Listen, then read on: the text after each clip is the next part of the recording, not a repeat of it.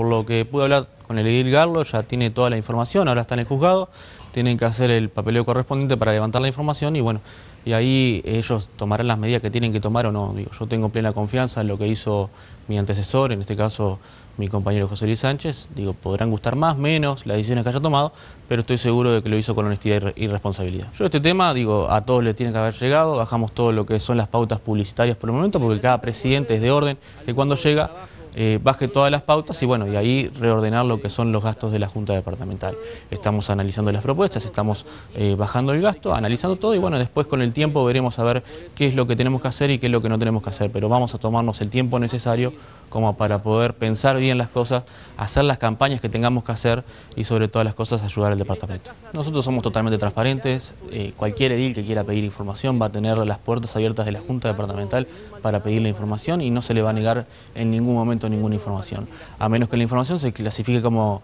eh, reservada o, confidencial, que en ciertos casos no pasa eso. Así que eh, yo tengo una presidencia de puertas abiertas, totalmente transparente y va a estar la información a disposición de todos los ediles de la Junta Departamental sin ningún tipo de problema. ¿Qué sello le quiere imprimir a esta presidencia? Lo que quiere hacer este presidente, junto con toda la Junta Departamental, es darle un impulso de, eh, en el tema de educación. Y ustedes me dirán, ¿la Junta Departamental con educación? Y sí, la Junta Departamental tiene una comisión que se llama Becas CLAE,